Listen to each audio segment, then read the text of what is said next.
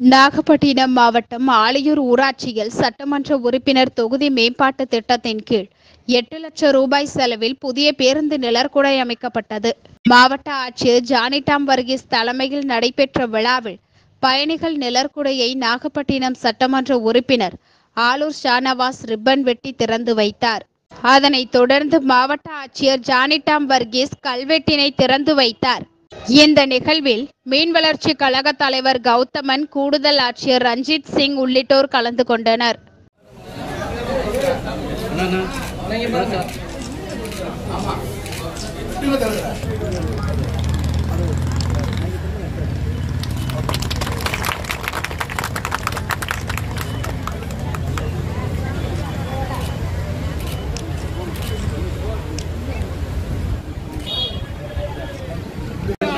இருக்கு இருக்கு நான் நீங்க வருங்க சார் தள்ளிங்க மண்ணு கொட்டாங்க என்ன கொஞ்சம் தள்ளி கால் தடே